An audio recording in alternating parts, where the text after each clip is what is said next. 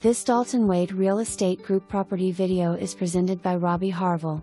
Come and see this adorable 3 bedroom 2 bathroom 1 car garage home on a quiet street in Lake Placid Sylvan Shores.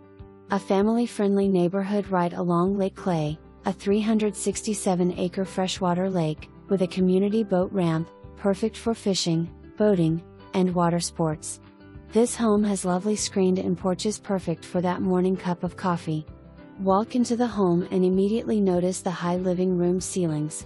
The backyard has an enclosed storage shed and brand new chain link fencing. In addition, the sellers have updated the AC and are in the process of updating the dishwasher and range.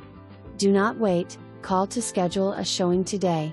For more information, review the details below.